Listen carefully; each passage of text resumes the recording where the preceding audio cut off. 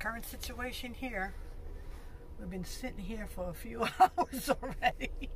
we haven't even taken off. Something to do with the something to do with the cart. Uh, cleaning. I don't know what's going on, but anyway, I'm getting kind of hungry, and we still haven't even had a cocktail yet. Lounge is closed because they're redoing something in the cart. anyway, I might have to break open the champagne sooner than I thought. But um, yeah, I'm, anxious to get going, and here we are parked, and my view is a wall.